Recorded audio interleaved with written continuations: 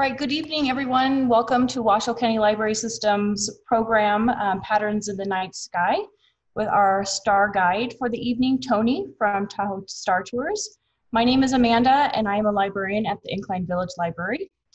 This event is recorded live here in Zoom. Welcome, everyone. And we're also streaming live on the library's Facebook page. So welcome, Facebook land.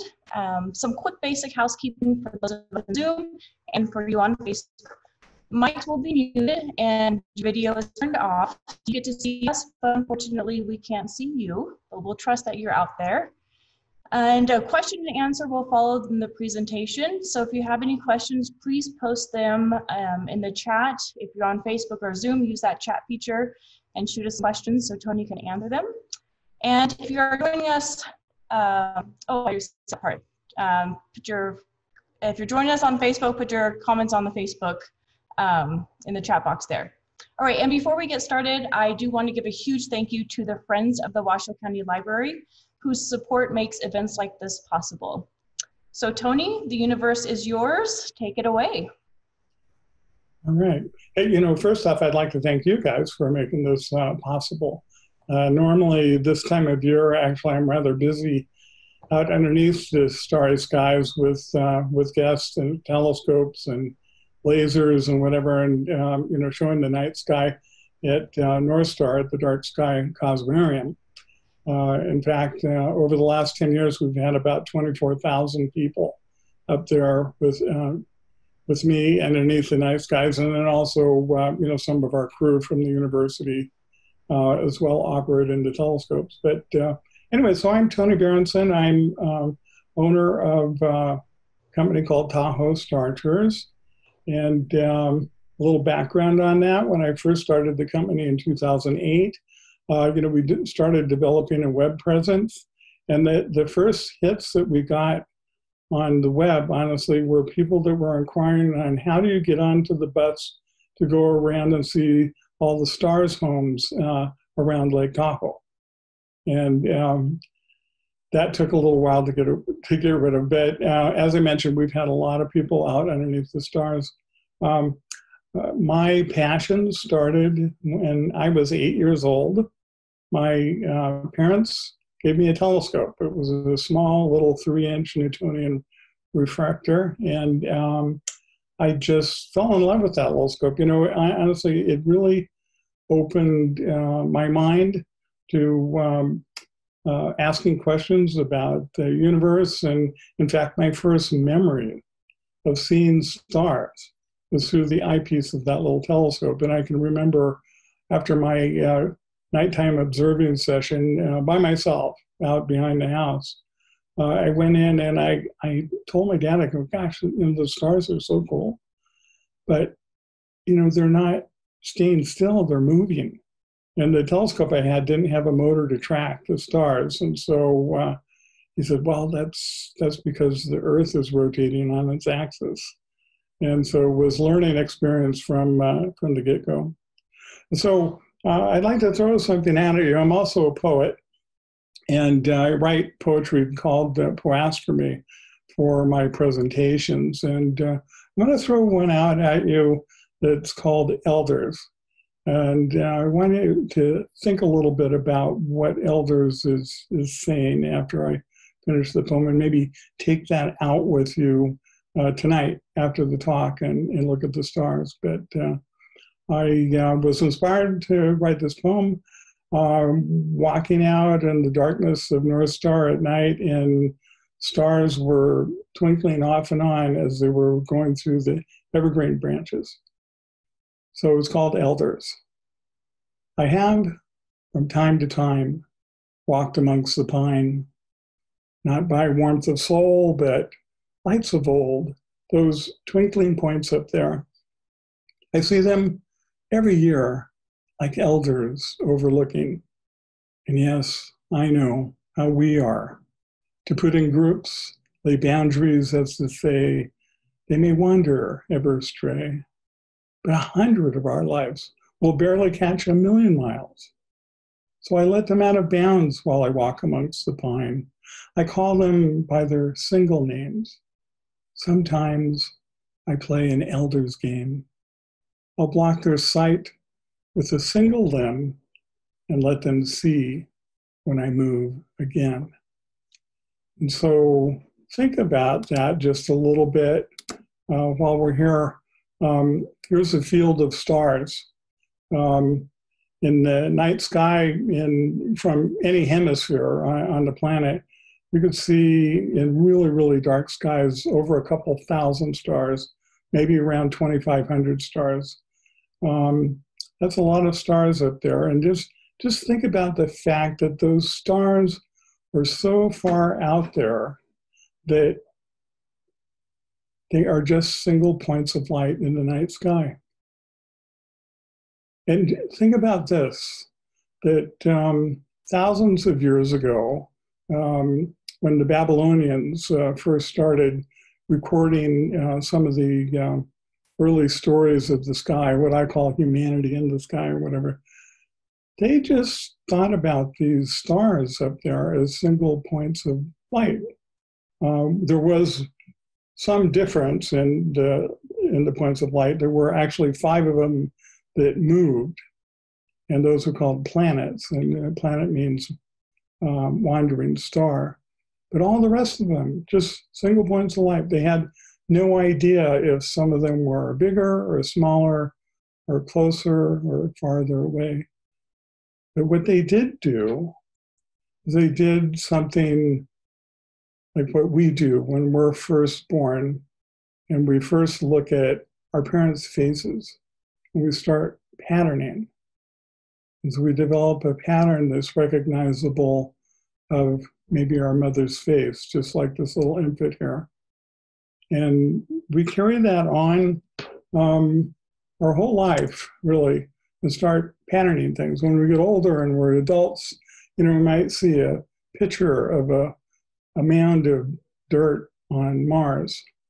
And because of the shadows and whatever, um, it looks to us like a face on Mars. And it can be so compelling that people will maybe believe that, wow, this is a face on Mars. There must have been Martians that left that temple, that kind of thing. So there are patterns uh, that we live our life by, that we understand the world by, that um, you know help us um, organize our directions, let's say in the night sky. We call those constellations and asterisms. Um, constellations, um, I'll get into that in just a minute, um, are um, recognized um, areas of the night sky and recognized shapes. And then asterisms are shapes, but they're not recognized as constellations. Um, so, anyways, um, as we get older, like I mentioned, uh, we might start doing what's called patternicity. And uh, patternicity is um, the ability to um, make patterns out of um, meaningless noise. And what that means is just, you know, let's say you've got a sprinkling of stars up in the sky and you can connect those and make a shape you can lay down on the grass in the summer and look at cumulus clouds up there, and you can turn the clouds into uh, a giraffe, a whale, an airplane. And uh, that's what patternicity is. Um, I actually experience a little patternicity when I go out walking the dogs behind my house. There's a little mountain here that actually is a fun little hike to go to the top of. We're only seeing the peak of it, but on the very peak of it, I don't know if you noticed, but there's some little things sticking up there. Um, those are crosses. And uh, this little mountain is called Cross Peak. But I have to tell you, when I moved here in 1993, I didn't know that it was called Cross Peak. I didn't know that it had a name at all. But to me, it looked like Sleepy Monkey Mountain. And uh, I'll show you what I mean by that. So here's a little sleeping monkey. And so you can kind of see the, the chin and the head on the left hand side and a big round tummy. And then on the right hand side, kind of sloping down, you can see the feet there. So that's a little bit of my patternicity. Um, so this is the, the first slide that I put up that has a representation of the kind of stars that you can see in a really dark sky. I mean, this would be really, really dark. Um, something like um, going out to Great Basin National Park, or uh, I can remember the first time that I climbed Mount Shasta. I got up at uh, two o'clock in the morning, was about halfway up at around uh, 12,000 feet, I think, and uh, got out of my tent. And I have to tell you, I was completely lost with all those stars. And this right here, this is the image of uh, the mother with a young infant looking at her and starting to pattern that face. And one of the first things we do is learn how to recognize our parent's face. And this right here, this is the face on Mars. And uh, like I mentioned, honestly, it's just a mound that when the light hits it at a certain angle, it kind of makes a face. And, um, you know, we're really good at that. Um, I, I, don't know if you've ever experienced this kind of um, Um, um, visualization of something, but you're driving down the road in a car and you see this dead dog on the side of the road just, just up on the right. And as you get a little bit closer, you notice that it's just somebody's coat that happened to be laying down on, on the ground. Pretty amazing what our minds can do. And this right here, this is Sleepy Monkey Mountain that I was talking about. This is actually Cross Peak. And um, this is kind of the monkey shape of it. So you see the chin and the head on the left-hand side and the big fat belly in the middle, and then the sloping belly that goes down to the feet. So I said I was going to get back to constellations. So constellations are uh, patterns in the sky uh, that are designated as actually kind of like locations in the sky. Let's say, like um, the zodiac. You know, the zodiac uh, in the area where the uh, the planets travel through uh, the sky, called the ecliptic. Uh, we've got 12 constellations: Aries, Aquarius, Cancer, uh, Capricornus, Gemini, Leo, Libra, Pisces, Sagittarius, Scorpius, Taurus, and Virgo that mark out that area of the sky. But um, up above to the north and down to the south, back in uh, 150 uh, AD, this particular guy uh, is called Ptolemy. Uh, he came up with um, with a mathematical um, uh, treatise that uh, was called the Al- Almagest, and in the Almagest, he compiled a list of 48 constellations um, they the list didn't actually go all that far back in time, but established a baseline of constellation shapes in the sky and areas of the sky associated with those shapes. Um, you know, and honestly, that's that's really important um, because uh, I, I, kind of call the constellations signposts in the sky. It's kind of a way to find your way around. And uh, in a couple minutes, we're going to uh, talk about that a little bit more. But uh, in um, 1992, the International Ast- Astronomical Union um, got involved with trying to fill up the spaces in the sky that weren't designated as constellations and actually came up with 88. Uh, part of the problem was that uh, most of the constellations that Ptolemy came up with were uh, in the northern hemisphere. Didn't it, from the latitude that he was at, he didn't really see much of the southern sky, and so um, by the uh, 20th century, of course, you know we had seen quite a bit of the southern sky, and so they actually ended up filling up the whole sky with constellations. Um, that that is very very helpful. Um, you know, right now, uh, let's say uh, you know we have a comet called Comet Neowise that's in the sky. It's kind of fading or whatever. But uh, one way to generally describe where the comet is is say, well, you know, it's in the constellation of Ursa Major, and um, that it is. It is actually fading quite a bit. Hopefully, um, some of you were able to see Comet Wise before it faded out this much because it's actually really beautiful a couple weeks ago. Um, so the, the constellations are used um, as signposts in the sky, but they're also used to oh, carry on stories, let's say, um, stories of creation, um, stories of uh, mythology. The constellation of um, Ursa Major, shown here on the left side of your screen, as stars connected with um, lines showing the, the basic shape of the constellation without the figure. Um, it covers a pretty large area of the sky. Um, on the right hand side, you can see that, um, you know, it's the shape of a bear. So Ursa Major is the greater bear.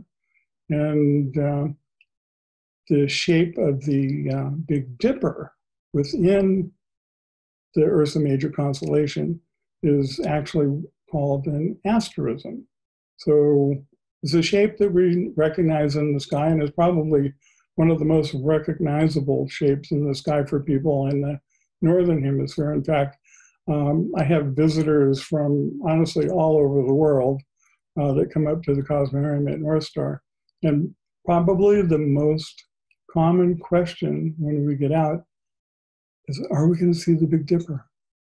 Uh, but anyway, so the Big Dipper is a very prominent constellation in the sky. It's also a constellation that um, is um, uh, in, a, in a position close to the, what's called the North Celestial Pole, where it doesn't um, completely set beyond the horizon um, in, at our latitude. In fact, um, here, here the, um, the shape of the con constellation is, is shown as a, as a big bear, where you have the, the bucket of the Big Dipper as the back of the bear, and then the handle of the Big Dipper is actually a tail. Um, you know, that's true for a lot of representations of, of this particular group of stars, but um, actually some uh, people look at the uh, Ursa Major constellation and, and call it a plow. It looks like a plow to them. And then it just so happens that um, just off to uh, the side of um, the Big Dipper constellation, if you follow the handle kind of curving around, you find a really bright star called Arcturus that is only about maybe 36 light years away, but it's a um, red giant star, very bright. It's the brightest star of uh, Boötes. The Boötes sometimes is called um, uh, the herdsman, but sometimes it's called the, the plowman. So the guy that's working the, the earth with, with the Big Dipper um, as a plow. Um, uh, Native American Indians uh, look at the, uh, the Ursa Major constellation and also see it as uh, a bear but the bear is actually only the four stars of the bucket of the Big Dipper. The other three stars in the handle are actually uh, hunters that are following the bear. And uh, the story goes that as the um, seasons progress and the Big Dipper becomes lower in the horizon, uh, the handle actually uh, gets down into, um, into the horizon and um, the leaves turn um, red in the um, in the winter months or the fall months, and that's because uh, well they wounded the bear.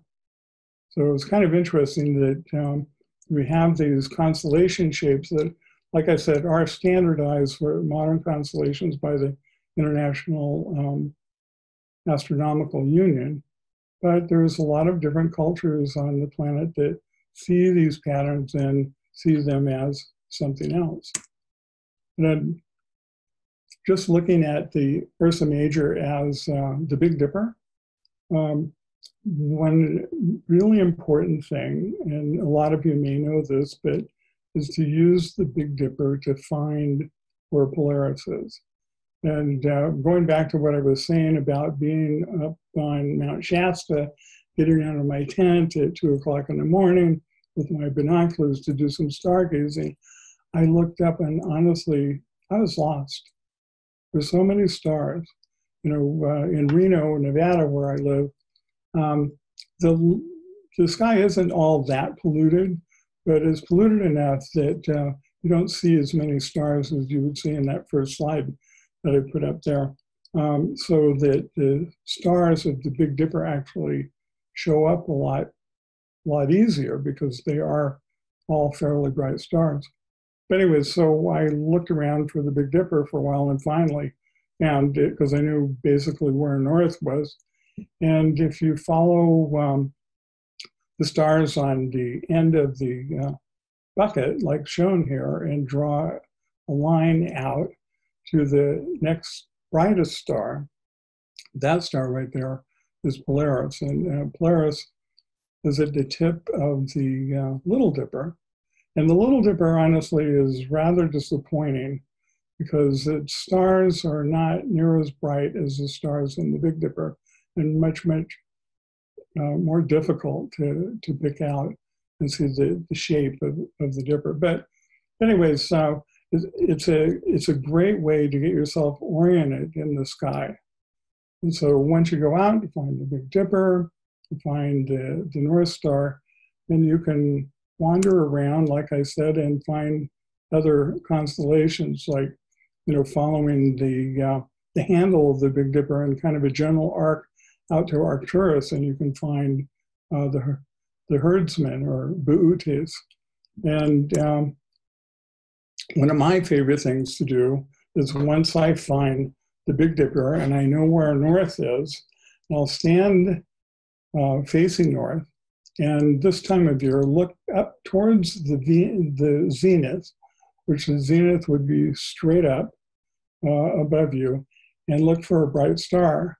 And um, that bright star up there is called Vega. And uh, Vega is about 25 light years away. Uh, it's actually, it's the star that Jodie Foster went to in the movie Contact. But it's also the brightest star of the constellation of Lyra, the Harp. And um, the stories go that the harp, honestly, the music of it was so beautiful that it even would even swoon uh, inanimate objects like rocks and lakes and mountains and things like that. And uh, from that bright star there, if you uh, go off to the left and down a little bit, then there's another star, not quite as bright as Vega. It's called Deneb. And uh, Deneb is the brightest star in the constellation of right here. It's called the Northern Cross. And I put that up on purpose because it's it's fairly easy to recognize it as a cross, but it's actually called Cygnus the Swan. And Cygnus the Swan kind of looks like this. So imagine that uh, Deneb is the tail of the swan. And way over on the other end of that horizontal line there, the star um, that's not quite as bright as Deneb is called um, Albireo. And Albireo is actually an old Arabic word that means beak of the hen. And so that's actually the beak of the swan. And if you go back where the cross is made, that's actually the wings. And this particular diagram doesn't really show it as grandiose as it is uh, because the wings actually extend out a little farther on each side. And I have to tell you that um, Cygnus the Swan, honestly, is my favorite summer constellation.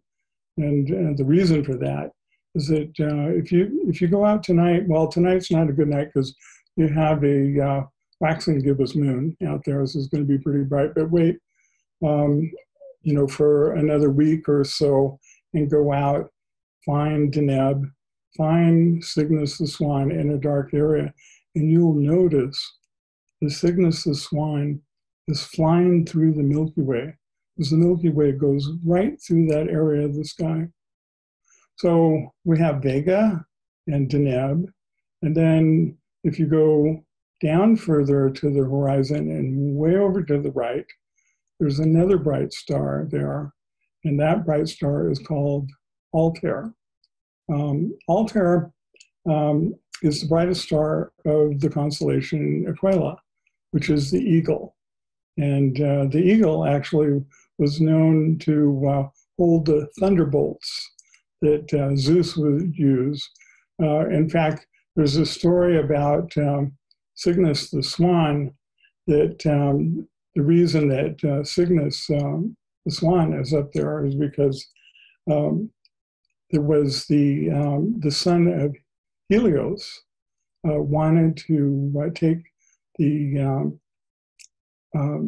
the sun's uh, chariot across the sky, and um, he got in that and um, didn't do a very good job handling it. It went out of control, and Zeus had to take one of the lightning bolts and destroy it, and actually uh, killed Cygnus.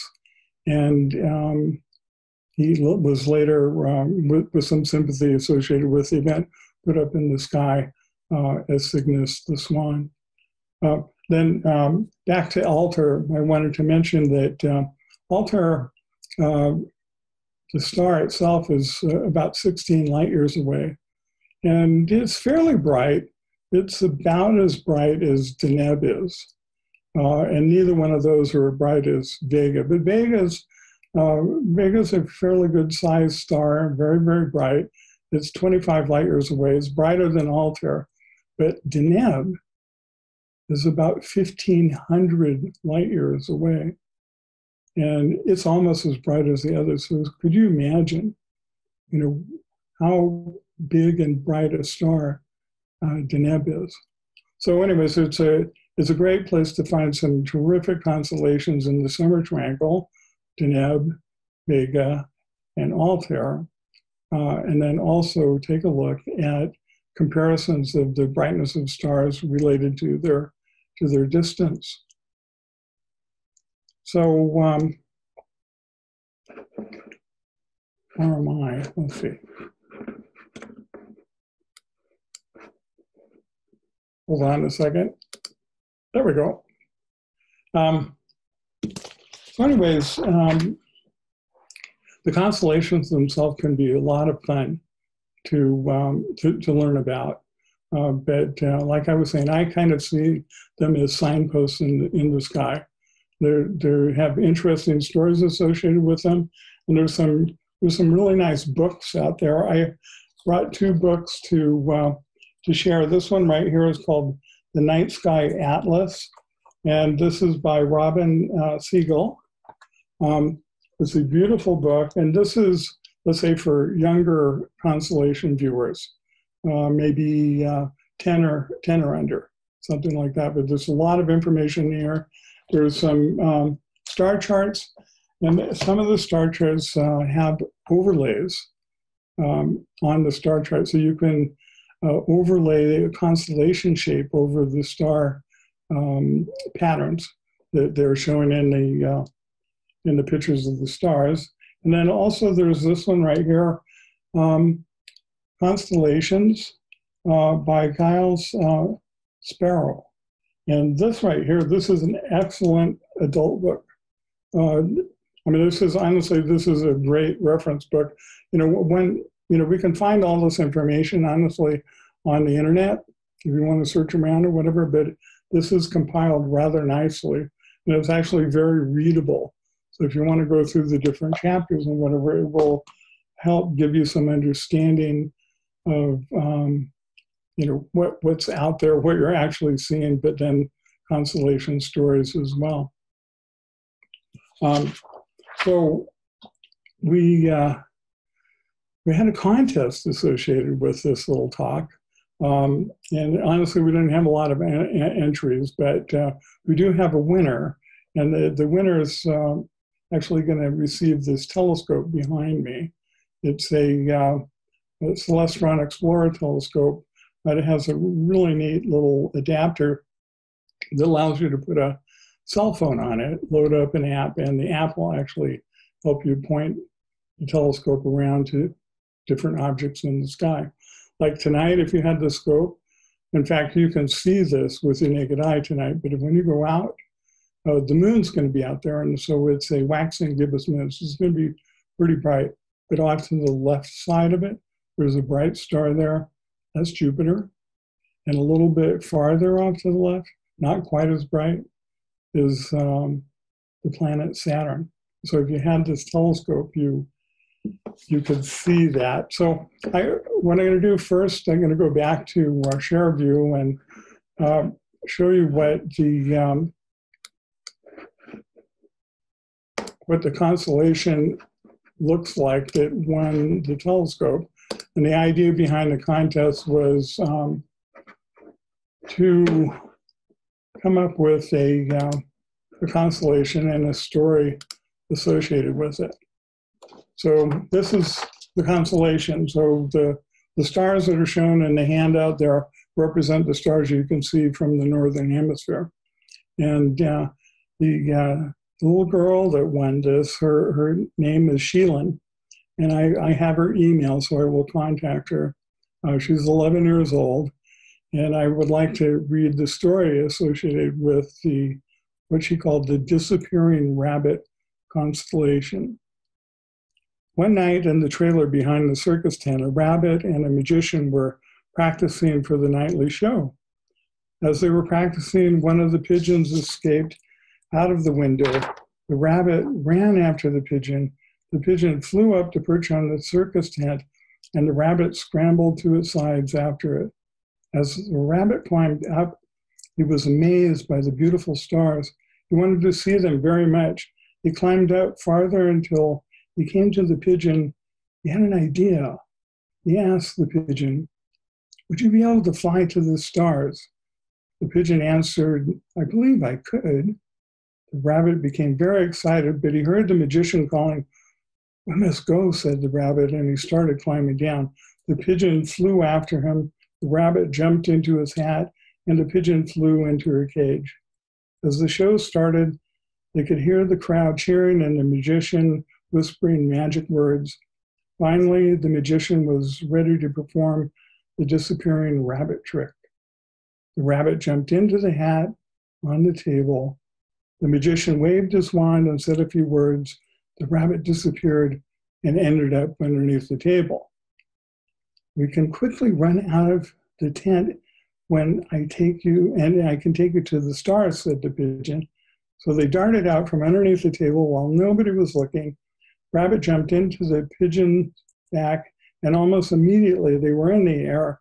The rabbit was amazed that the pigeon flew higher and higher in the sky Soon they were flying around the stars.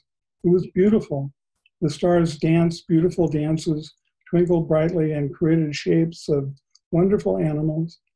The rabbit wondered if it might be able to say, Stay.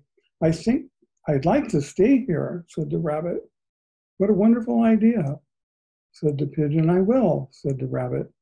The pigeon flapped its wings and flew away, she thought she saw the shape of the rabbit and the stars that night. Meanwhile, back at the circus, the magician said, Now I will make the rabbit come back. He waved the magic words, held out the hat for everyone to see. In the hat was the pigeon. And uh, I thought that was such a terrific little story. Um, So uh, c- congratulations, uh. Uh, like I mentioned, if you're here, uh, I will contact you via email and uh, really appreciate your entry. And then to all the rest of you, um, I, I, don't know, there might be some questions, but I want to thank you for joining in and uh, having the interest in you know what you can see up in the night sky. So, are there are there any questions? Well, thank you so much, Tony. That was a great program, and congratulations to the um, winner of the telescope. That was a great, um, great story of the constellation of the um, the rabbit. I have a question. What is a good app that you could recommend for us novice astronomers that might want to get our feet wet looking at the constellations? Oh, I'm glad you asked that because you know honestly, this astronomy apps are awesome. I really encourage people to use them. it's like self-discovery when you're out underneath the skies. But uh, uh, one uh, great, really great app is called Sky Portal. It's free. Uh, there is another app that is called Starwalk, which is free. And uh, if you want to get something that's a little bit more sophisticated, uh, it costs about um, eight or nine dollars. Is Sky Safari, but those three right there bit. But the two, you know, I would I would start out if you don't have one, start out with one of the free ones like Sky Portal, and they're pretty amazing. You know, they have uh, audio files in there. So if you put your finger on an object and you want to find out about it, it'll talk to you and tell you about it. Just like being with Tony. Wow. Technology is awesome. Um, here's another question. How do constellations become official? Oh, okay. Yeah, that's a good question. Well, you know, that's that's kind of why I brought up Ptolemy uh, because um, you know in the um, days of let's say the Babylonians when uh, constellations were were first recorded or uh, in the early uh, you know days of Chinese uh, viewing the skies and whatever, uh, there were a lot of kind of local stories about things, but um, really wasn't an official constellation, and so um, what uh, Ptolemy did back in 150 AD is uh, he put together a list of 48 constellations and said, hey, so these are the constellations, at least in the that area uh, of Europe and whatever, and then later on in the in the Western world or whatever, they were accepted as official constellations. And then the International Astronomical Union, which is actually the um, entity that is responsible for naming things like stars or craters on the moon, whatever, they got into the task and then came up with actually 88 constellations. So that's that's how it's done. Great. Another question is, what is the brightest star in the constellation Draco? Draco, and I'm hoping I'm pronouncing that right. D R A C O. Draco. Okay. I'm going to have to look that one up for you.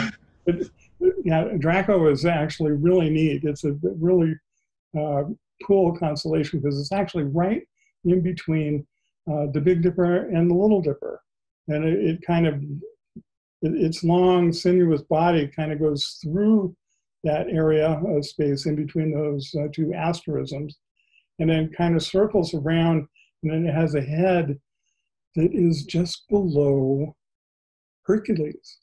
And Hercules actually is, has his club lifted up and getting ready to smack the dragon in the head and, you know, do, do him in. It was one of Hercules' great feats. But uh, the brightest star, but I would suggest, um, uh, you can send me an email, uh, tony at tahoestartours.com. I'll look that up for you and, and send that to you. Or you could try one of those star apps. All right. Another um, question um, What's a good telescope that you could recommend to look at planets? Oh, well, you know, for a starscope, something like this actually is a great way to go. Uh, this this telescope right here, it's 80 millimeters. It's a refracting telescope, so it has a lens kind of like a ship's telescope, and it doesn't have a mirror in it. It's not a reflecting telescope. Uh, very easy to put together and maneuver and whatever but it works really well for planetary observations and uh, also lunar observations as well. So I would suggest, I mean, I honestly, I like Celestron telescopes, um, but if you get something, don't get it from a department store. Um, you know, go go online and get it from somebody uh, that, that sells telescopes specifically. Uh, like I said, Celestron's a good product. This one costs uh, $170. And like I said, it also comes with that cell phone adapter. So even if you don't know where anything is in the sky, you just load up that app and it will point you to where you want to go.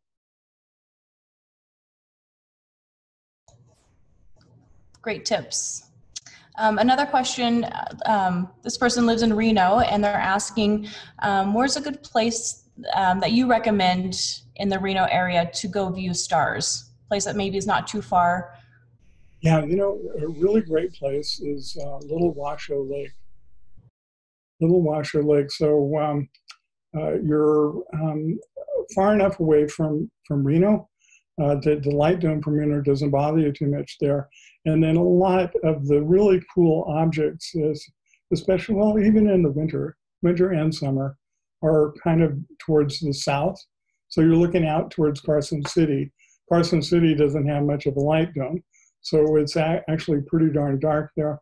Uh, there's another place that I really like. It, it, it's a little farther to go to, but uh, Mount Rose Meadows at night, the, the, the campground is actually closed. But what I do is I'll go up and there's kind of a parking area off the highway there, and I'll just take my telescope out and just walk down the side of the hill just a little bit so you are, are um, uh, sh- shading yourself from the headlights that, that come by. And that's actually much better, but it's a lot further to go. Um, and thirdly, um, if you uh, want to drive out towards Red Rock, so you're going north from Reno, uh, you drive out there. There's um, there's a lot of public land out there, and you can um, pick a spot where you can drive off on one of those little dirt roads and um, stop and um, view the stars. In fact, you know we're going to have the Perseid meteor shower. Actually, the peak is going to be the 11th, 12th, and 13th and uh, gosh, about five years ago, I had a wonderful experience going out with my daughter and um, uh, amateur astronomer by the name of Jesse Huntsman. We just laid out on the, on the ground, on a blanket out there for hours, just looking up and watching those beautiful um, meteors. So, so those are three good places that are easy to get to. Excellent. Well, I don't see any other questions, so I think we'll go ahead and close this program out. Again, a huge thank you for everyone um, for joining us in this late night program. I know I'm going to go take a look out at the stars when I leave tonight and see what I can see. Um, thank you so much, Tony, for joining us and for hosting um, the, um, the contest. That was great. And um, thank you, everyone. Again, thank you to Friends for making this program possible and we'll see you all later. Have a good night.